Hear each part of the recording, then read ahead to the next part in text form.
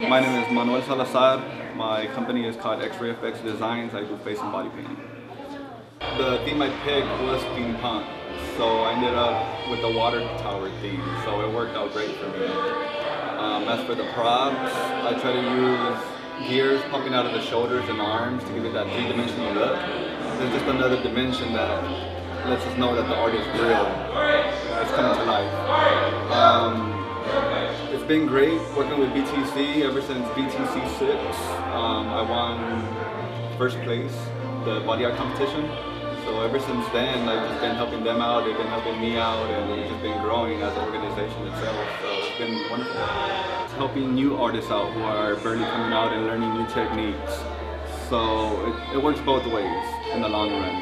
So we're all just here having fun and just trying to create a difference in San Antonio. So hopefully it does, does good this year. That's good. I'm really interested in if you could just uh, talk to me a little bit more of about techniques you've developed when you when you've made the transition from a canvas to skin. Oh, it's a huge.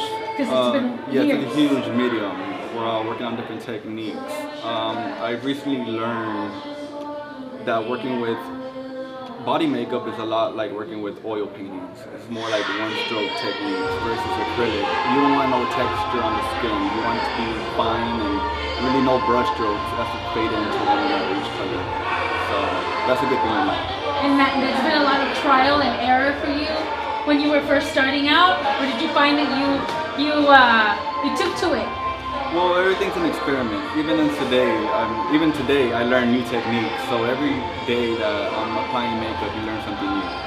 So you never know everything. It's always something new